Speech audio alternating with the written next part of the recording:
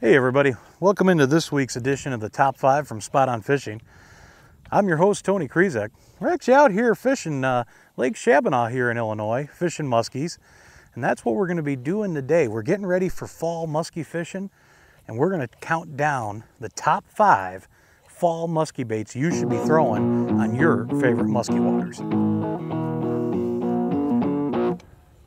Now the first thing we're going to talk about is actually bucktails when the fish are on or you're just looking to find active fish, maybe not even so much stick them, but just to be able to find fish in an area, there's no better search bait than a bucktail.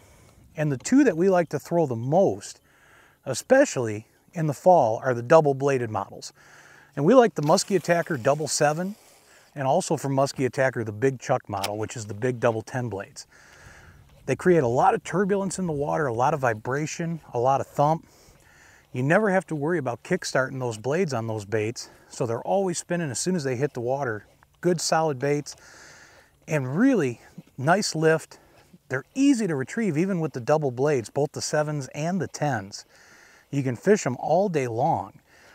And what's nice, even if you don't stick the fish on that bait, you'll be able to get a follow and you can come back and work that area with one of the other baits we're gonna talk about a little later on. But by far and away, when you're first starting out, especially early in the fall. As things start to get really cold and the water temperature says, you know, drops below, say 65-ish, we're gonna probably put the bucktails away at that point. But prior to that, always start out throwing those bucktails and find the active fish.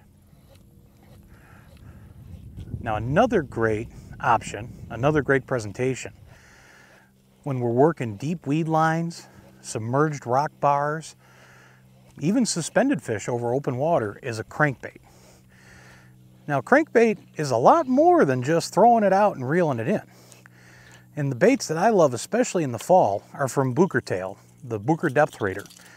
And I prefer the straight model. If I'm trolling, I'll go more to the jointed model.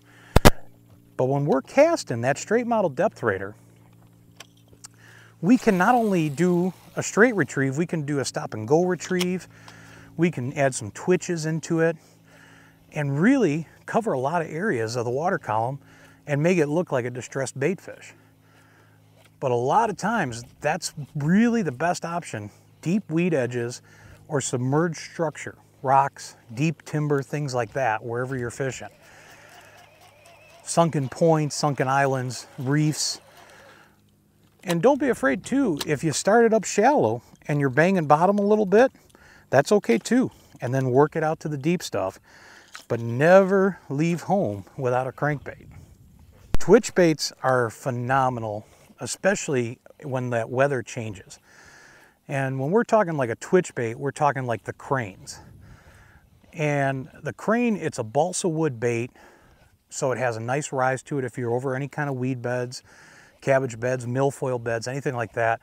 You can pause it, it'll back itself out of that that cover. And a lot of times, especially when that first big cold snap hits, we can actually add a weight system to it to actually get that bait to suspend even more. Now the JB weight systems were always the original ones to go to. They're not really available anymore, obviously, but the Berms bait systems, they work just as well too. You'd be able to weight your, your, your twitch baits like your cranes and actually keep them to hang in that, that strike zone a little bit longer. Now we integrate long pauses, sometimes short pauses, play around, see exactly what the fish want on that particular day.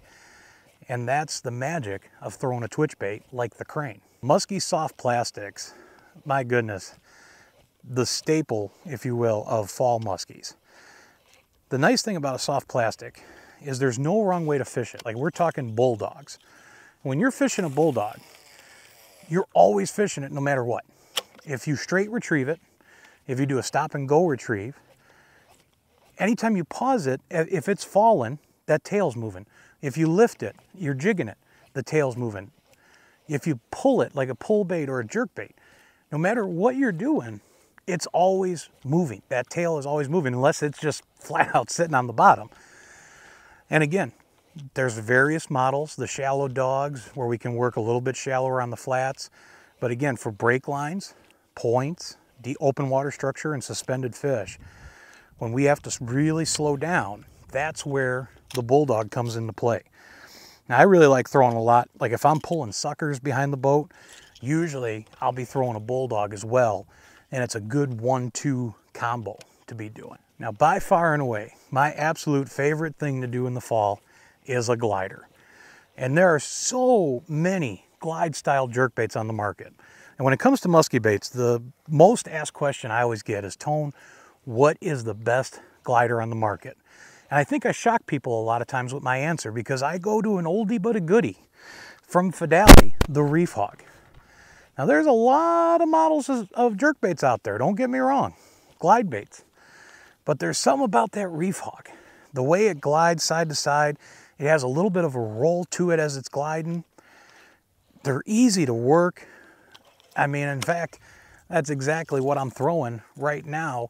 Uh, to me, that bait just, when it rolls and glides, it'll just have that little bit of a roll up to it. And just perfect sways to it, easy to work. You just tap the rod. Most people think if they haven't ever thrown a glider before, that you have to actually move the rod side to side. It's just a straight down motion, slacken the line. The reel is doing nothing but picking up slack line your actual bait is being moved strictly just by the rod tip on that slack line and just those light touches gets that bait dancing. And I will tell you, I have caught more fish on a Reef Hawg than any other glider on the market today. They still produce, by far, my opinion, the best one. So that wraps up our top five. What are some of your favorite top five baits to throw in the fall for these big muskies?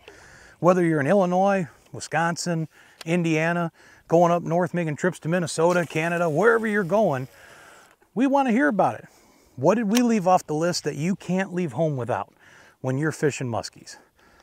We'd love to see it in the comments. Of course, be sure to always check us out on Facebook, facebook.com slash Tony Spot on Fishing, where you can like and follow us there and find out all the happenings for Spot on Fishing. Right now, we're going to get back to fishing out here at Shabbona tough lake to fish, man. I'll tell you, we keep trying to always come out here and produce a show. Always seems we do better when we leave the big cameras at home, but hey, we're gonna keep plugging away out here. Enjoy it. Thanks for watching. Again, my name's Tony Krizek. We'll see you next time on Tony's Spot On Fishing.